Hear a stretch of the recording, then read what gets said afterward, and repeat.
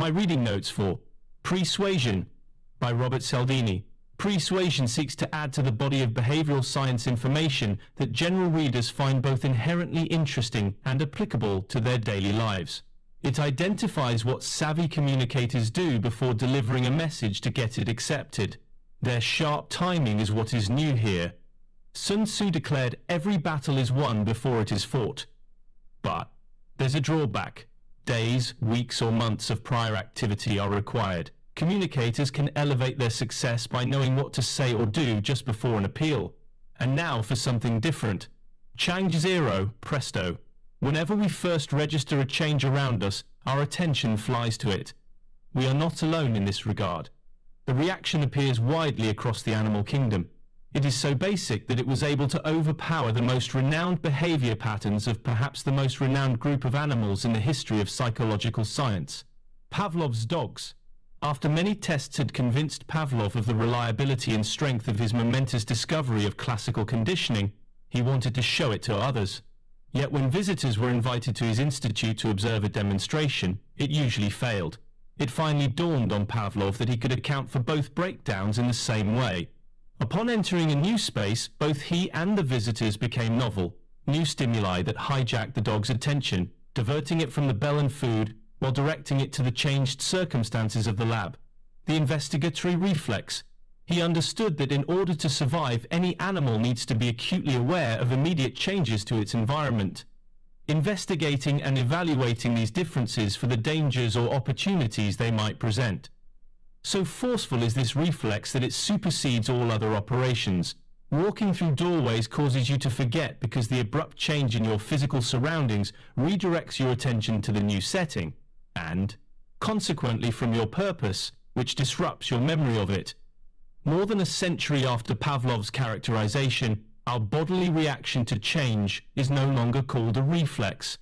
It's termed the orienting response, and scores of studies have enlightened us about it.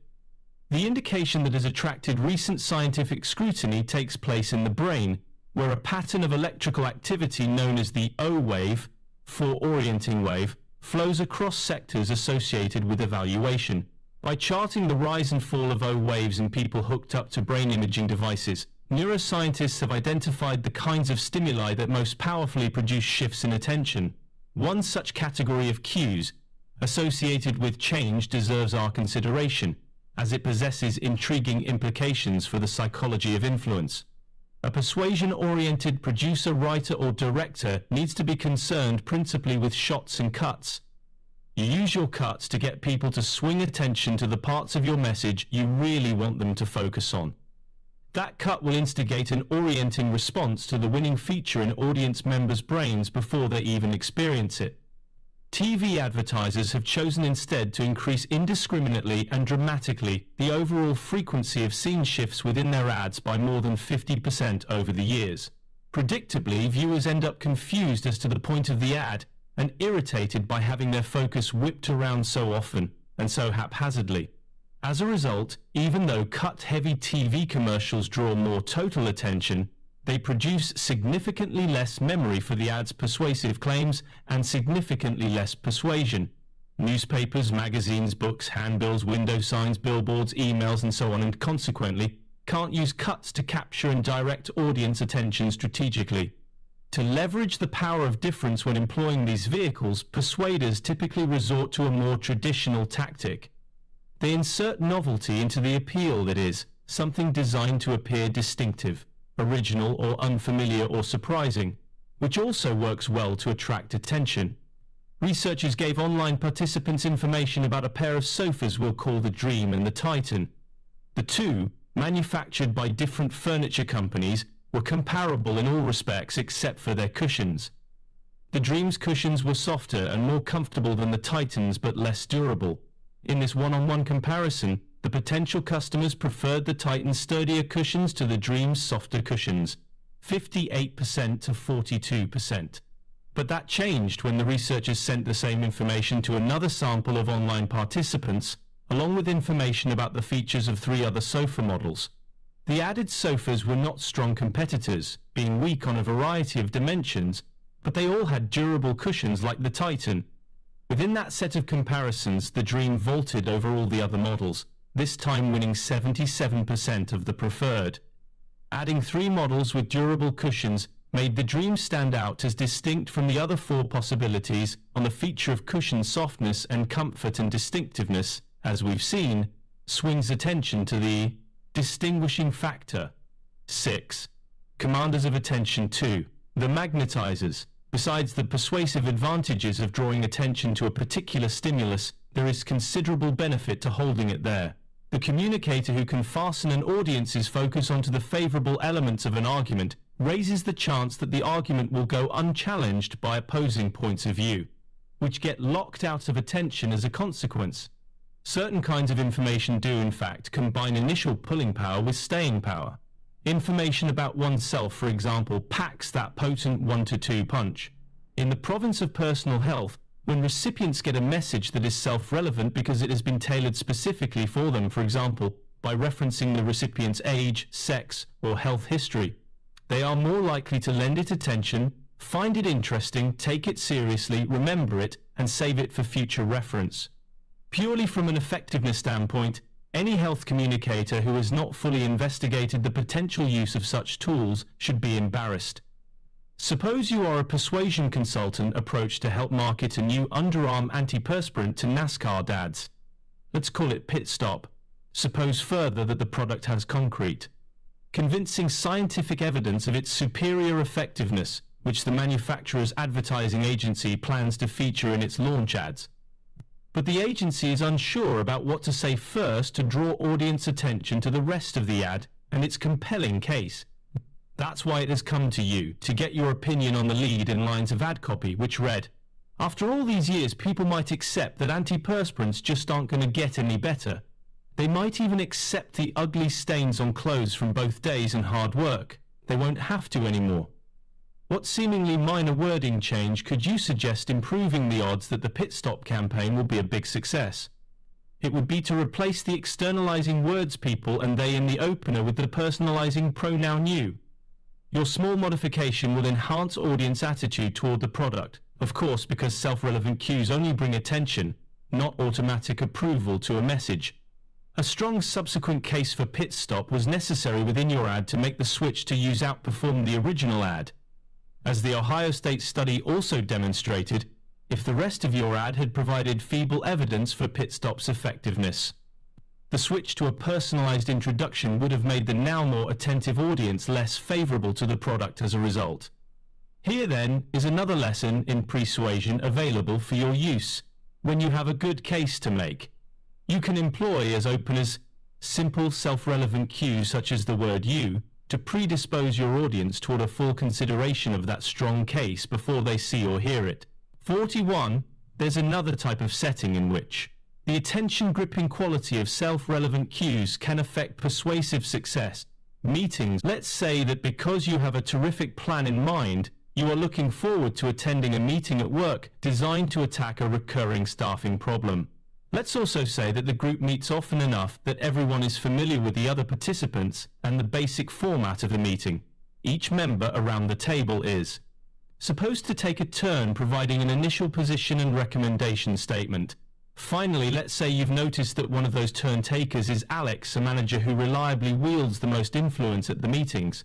He usually determines the problem solving path the group eventually takes how might you sail the waters of your meeting more expertly than your first inclination suggested?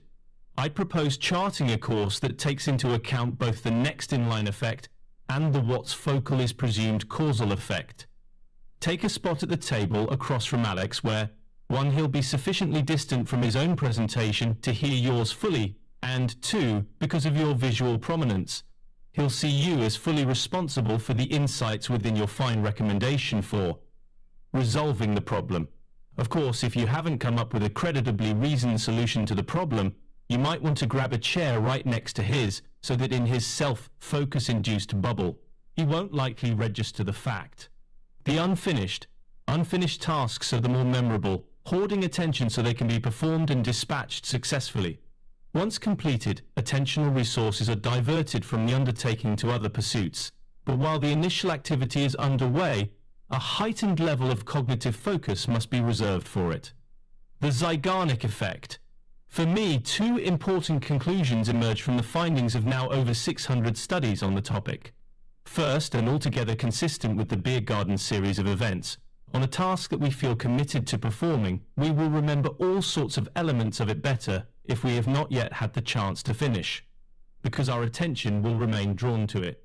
Second, if we are engaged in such a task and are interrupted or pulled away, we'll feel a discomforting, gnawing desire to get back to it.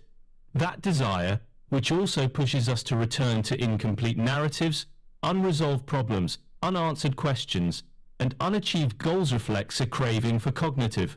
In one set of studies, people either watched or listened to television programming that included commercials for soft drinks, mouthwash, and pain relievers. The greatest recall occurred for details of ads that the researchers stopped five to six seconds before their natural endings. What's more, better memory for specifics of the unfinished ads was evident immediately, two days later, and especially two weeks later, demonstrating the holding power that a lack of closure possesses. Perhaps even more bewildering at first glance are findings regarding college women's attraction to certain good-looking young men. The women participated in an experiment in which they knew that attractive male students, whose photographs and biographies they could see, had been asked to evaluate them on the basis of their Facebook information. The researchers wanted to know which of these male raters the women in turn would prefer at a later time. Surprisingly, it wasn't the guys who had rated them highest. Instead, it was the men whose ratings remained yet unknown to the women. An additional piece of information allows us to understand this puzzling result. During the experiment, the men who kept popping up in the women's minds were those whose ratings hadn't been revealed, confirming the researchers' view that when an important outcome is unknown to people, they can hardly think of anything else.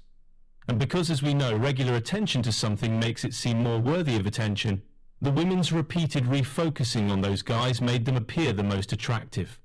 One of my colleagues always impressed me with the quantity of her written output in a consistent stream of commentaries, articles, chapters, and books. She never lets herself finish a writing session at the end of a paragraph or even a thought. She assured me she knows precisely what she wants to say at the end of that last paragraph or thought. She just doesn't allow herself to say it until the next time. The mysterious. I was preparing to write my first book for a general audience. Before beginning, I decided to go to the library to get all the books I could find that had been written by academics for non-academics. My strategy was to read the books, identify what I felt were the most and least successful sections, photocopy those sections and arrange them in separate piles. I then reread the entries looking for particular qualities that differentiated the piles. The most successful of the pieces each began with a mystery story. The authors described a state of affairs that seemed perplexing, and then invited the reader into the subsequent material as a way of dispatching the enigma. When presented properly, mysteries are so compiling that the reader can't remain an aloof outside observer of story structure and elements. In the throes of this particular literary device, one is. Not thinking of literary devices, one's attention is magnetized to the mystery story because of its inherent unresolved nature Besides mystery stories being excellent communication devices for engaging and holding any audience's interest, I encountered another reason to use them. They were instructionally superior to the other, more common forms of teaching I had been using, such as providing thoroughgoing descriptions of course material or asking questions about the material. A little recognized truth I often try to convey to various audiences is that, in contests of persuasion, counter-arguments are typically more powerful than arguments, this superiority emerges especially when a counterclaim does more than refute a rival's claim by showing it to be mistaken or misdirected in the particular instance, but does so instead by showing the rival communicator to be an untrustworthy source of information, generally. Issuing a counter-argument demonstrating that an opponent's argument is not to be believed because its maker is misinformed on the topic will usually succeed on that singular issue. But a counter-argument that undermines an opponent's argument by showing him or her to be dishonest in the matter will normally win that battle plus future battles with the opponent,